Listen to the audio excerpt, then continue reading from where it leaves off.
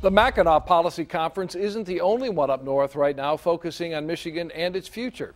7 Action News anchor Stephen Clark is live on Mackinac to tell us about an alternative gathering. Stephen?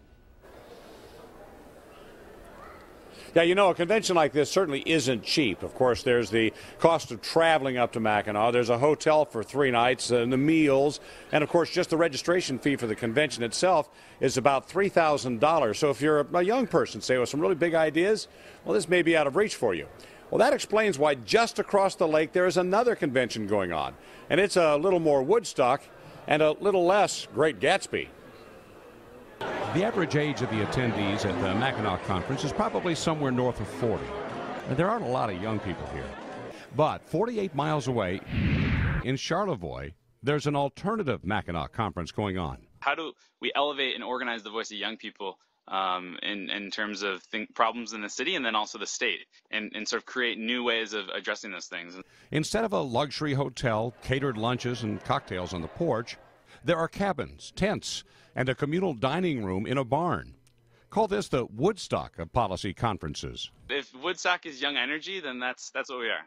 Kevin Crease is co-founder of Assemble. We are we cleaned out a barn and we have a huge piece of land and we're just sort of getting together and we got a, a pretty speedy internet connection and have uh, just been having good kind of conversations and, and, coming up with ideas. They're spending part of their days watching the Mackinac session streaming digitally, and the rest of the time coming up with solutions to the problems they're talking about here.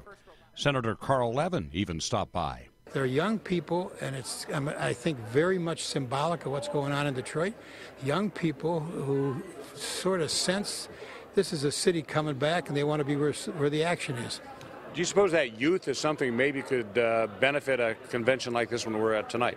Yeah, and I just was talking to Sandy, who's running this uh, show here, and uh, they're very much in touch. And instead of paying nearly $3,000 like the attendees on Mackinac, Assemble costs just $80. The goal of what we're trying to do is, is take a really enjoyable conversation around important topics, but then actually get it together and work on something meaningful where we come up with tangible ideas that have plans.